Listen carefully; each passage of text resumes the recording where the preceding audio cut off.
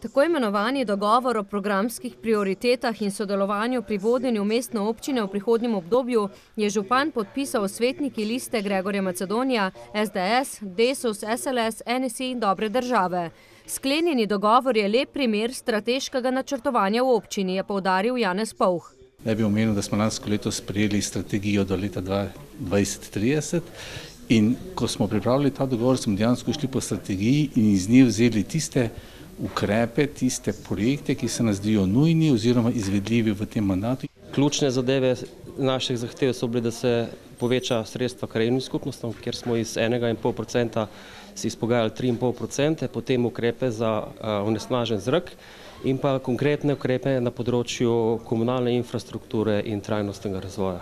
V Desusu so po besedah Adolfa Zupana zadovoljni, da so njihovi politični partnerji dojeli, da je vendar treba tudi v novem mestu priti do oskrbovanih stanovanj po več letih, nažalost, da je potrebno zagotoviti vedno dovolj sredstev za pomoč na domu za starejše in pa seveda, da vse te gobe starejših, ki spremljajo pač to generacijo, se lajšajo tudi preko društva upokojencev in za njih je treba nameniti veliko več sredstev. V SLS-u bodo namenjali največ pozornosti podeželju in družbenim dejavnostim. V preteklosti so namreč večkrat opozorili na po njihovem podhranjena primestna območja. V tekstu smo uspeli in tekst je ravnotežen.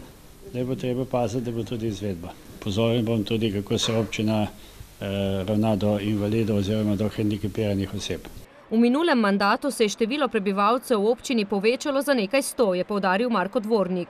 In nas veseli, da je v tem sporazumu ponovno poudarek na razvoju gospodarskih con, osnova so delovna mesta in pa za mlade in pa se pravi prostorska problematika in stanovanja za mlade. Koaliciji, ki bo štela devetnajst svetnikov, se pridružuje tudi Rok Mežnar, na volitvah Macedonijev izzivalec. Kot pravi, se je odzval povabilu.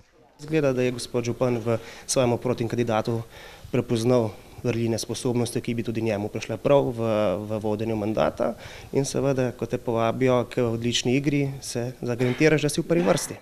Svetniki, tako Mežnar, smo tisti, ki moramo poskrbeti za to, da se bo župan dogovorjenih programskih usmeritev in projektov tudi držal. Razdelili so jih na dvanajst področij.